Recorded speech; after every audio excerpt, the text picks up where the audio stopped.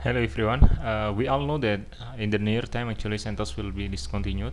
Uh, but, but fortunately we have several options for migrating our CentOS to other uh, OS that still compatible like the Alma Linux, Oracle Linux and also Rocky Linux. In this video I will demonstrate how to migrate our CentOS to the Oracle Linux. So first let's check the release that I'm using right now, Red Hat release something like this. So this is the CentOS uh, 7.9 so the first thing that we need to do is actually update the whole system using yum update something like this. If you are not using the latest CentOS 7.9 you can do this and uh, you will need to reboot like if you are using 7.5 or something like that. So actually I just only want to demonstrate the update here and actually it won't do anything because I already in the latest for the CentOS. And the second is actually we need to install the Elevate project from the Alma Linux repository. First we need to install the repository for this one Elevate release latest. So we need to install using yum okay the URL I will include in the description. And we need to install the leapp uh, upgrade application and the destination the OS that we want to choose actually to migrate. So what we need to install is the leapp upgrade and also the leapp data. Let me show you that. Yum install leapp-upgrade space leapp data and the destination. This, in this case is Oracle Linux. So let's install that package and something that something like this. It will take a time actually but no problem okay since uh, I'm using the VM the GCP so the speed will be good. And after that we need to check whether our configuration in the current system is good to move to the next uh, OS using the uh, lib app upgrade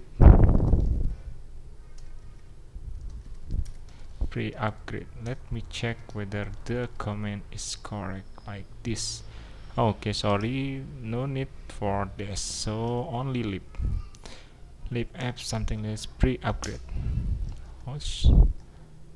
Oh wrong comment. Leapp pre-upgrade something like this. Basically what this uh, script checking is many things. And the good thing is uh, after the checking complete. Actually we can see the report. To see whether there is there are some issue that we need to solve like let's say the SSH is configuration is not correct we not explicitly override the parameter root login as a yes and then we have some uh, module that we need to disable or even the answer file to uh, accept the risk for using these uh, tools for migrate the OS so let's wait uh, for a moment actually it will uh, check many things and we can wait for that and check. So as you can see that this is uh, for checking transaction and then gather the okay for the SAP and then for the firewall itself okay for the firewalld is checking that checking the SS SSHD okay. And also checking about the memory and something like that. And then it will also check for the that we, we need to install the Oracle Linux actually. So we will wait for a moment. It also scan the RPM the installed RPM that already exists in this uh, installation. Actually the case will be different when you are using uh, your own CentOS. I mean let's say you already established many service on that machine. Maybe some of the RPM will be not suitable or something like that. Or let's say you have some module that already enabled but not supported in the CentOS in the destination OS I think that some uh, will be a issue. But no problem since the uh, leapp pre-upgrade actually will show the report and what we can do to solve the issue. Let's wait for a moment for that one. Okay this also check for the slash etc host also check for the PAM for the uh, another is something like that. So yeah we can wait for a moment. This still checking. Is quite a long check actually but I think it's a good things because we can uh, more sure about the script that it check uh, so many things that the migration will be smooth. Okay. So you can see that right now it's check the repository for the Oracle Linux 8 as you can see in the uh, screen okay. Okay still checking it's also checking the CPU the PCI driver the OS release and something like that. Let's check. Okay actually after this phase if we don't see any uh, if we don't see any problem the big problem actually we can move to another step which is the upgrade itself. So we can use the leapp upgrade I think the only problem here will be the answer key answer file to make to agree the term and condition about using this lib uh, library. Let's check after this. Okay. Still checking. No problem. You can see that there are so many RPM that it's very fire right and those are the RPM that will be installed in the Oracle Linux there. Okay still waiting for the report check. Okay. Actually I think there are other approach to use actually. The first is upgrade to the CentOS 8 and then from the CentOS 8 to the Oracle 8 I think but that's another story. Let's focus on this Elevate project that help us to directly migrate from the CentOS 7 to the uh, Oracle Linux 8 it's a good actually. Very very good things. Okay as you can see that there is one issue here the missing requirement answer in the answer file. So we can check the report here in the leapp report. Let's check okay. What we can do actually for okay so this is the one that block the upgrade. So we can use this leapp answer okay to remove the pam_pkcs uh, 11 module check. Okay let's proceed for this one. Leapp answer enter gun and then let do upgrade. Okay let's try this is where the interesting part begin. Let's see for the upgrade itself. Okay it's checking in. I, uh, I think it will took the same time as before but I think less because the installer the package already installed right for the Oracle Linux so okay. Just wait. We can wait.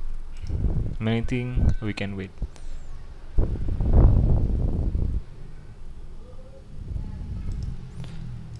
okay still waiting. Okay. Okay as I mentioned maybe you can okay let's say you want to migrate your established or your production system. I think the better way is you can try to replicate that production at least in the small scale and then try to migrate from that dev or uh, demo machine first to make sure that all of the service will be running after the migration because you know even we have script but still maybe we have something that won't work in the destination OS and better to make sure. Okay still checking. Okay it's checking the RPM again. Okay since it's already installed it will take a less time. Check check check check check. Still checking. Many things to check okay. I think it's all okay. It will be less than because it's already verified the RPM before. Let's see.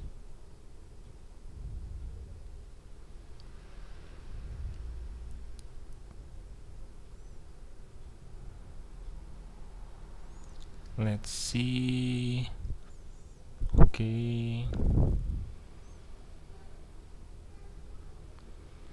still waiting waiting and waiting okay. What's the problem here? Oh okay. Oh okay it's installing again. Okay okay. I hope it's already start installing for the upgrade not for check only. Let's see. Okay 18 by 131 okay almost complete almost and 131 good things. Okay so the DNF version is 4.0 uh, 7 it's good actually because if we are upgrade to the CentOS 8 actually the DNF version I think it will be uh, before the 4.1 yeah 4.7 is good. Let's see. Okay it's complete. Then let's check let's check what happened next. Red Hat release to 8.5 okay. Still waiting. Oh okay. Still report. I think I execute the correct command leapp upgrade. Oh, okay. So this you can see that the repository here is OL 8 now. So it's Oracle Linux 8 let's see. Wait and see. Okay install 2035 packages. Is okay it's comp mm, okay good. DNF package actor info DNF to download. Okay it's the DNF downloading the package now. Seems like that. Let's check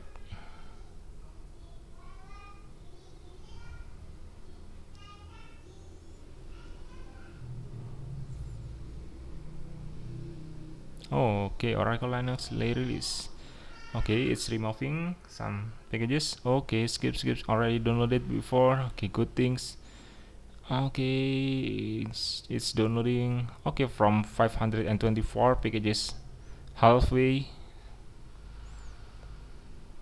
Ah okay move on. Okay almost there also okay 400 one 100 more. Almost there good 30 okay almost okay. Yum oh, okay so the yum version is same with the DNF 4.7 okay the last one.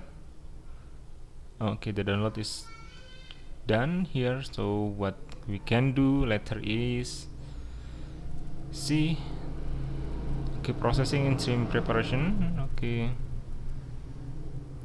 upgrade initram okay initram f okay adjust ef okay good. Okay okay since I am using the uh, GCP actually uh, at least I can share what happened if we are using uh, Elevate project in the GCP uh, success or not I will share this actually. So let's still wait. I'm upgrading the initram fs actually the process is quite quick as long as there is not much not so many issue found during the pre-check and also for the download process. Yeah as long as you have the good con internet connection I think it will be good it will be uh, fast enough. Okay the configuration for this CentOS is 2 CPU and 4 core I think. Yeah. With plain uh, CentOS. That's why I mentioned if you install many RPM custom RPM for your service like HTTP, uh, Nginx, or MySQL, Postgres, uh, Redis, MongoDB, and something like that, I think might affect the duration.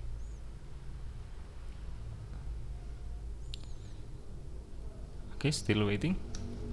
I'm not quite sure how long it will take actually, but at least we already have around 13 or 15 minutes working for the migration. I think it's a good things to spend that uh, 15 minutes for migrate OS actually. Let's wait mm.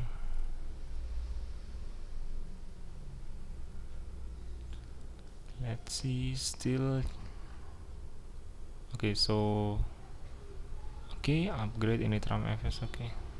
Let's check whether this oh okay I think it will be let's wait.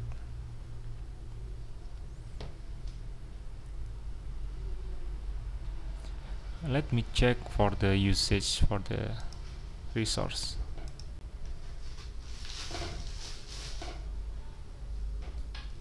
Okay let's check for the usage for the last one hour for CPU utilization. Okay I think it's good. For the two CPU to core it's not using the 100% okay for the network traffic also something like that.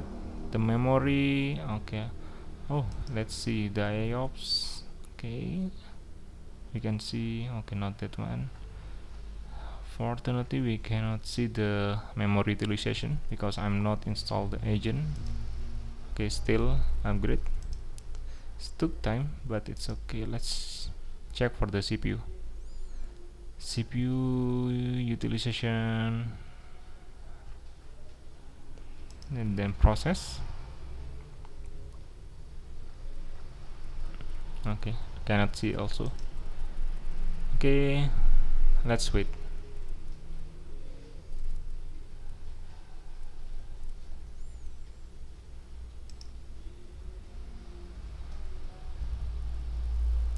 anyway if you are in the Indonesia or you have uh, GoPay or something like that or some Indonesian payment service you can donate in the by scanning the QR code in the top right of the screen. It's our area. You can donate there or yeah.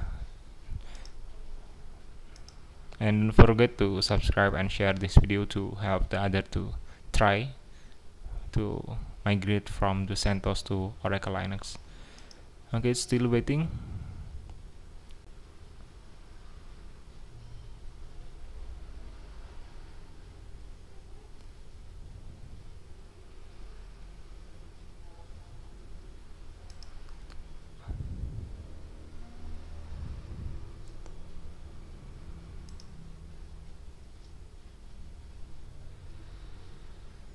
Okay I think it will took time so I will cut the video to be the part 1 for the migrating from the CentOS 7 to the Oracle Linux here I will share the part second as the progress after the upgrade in RAM FS see you in the part 2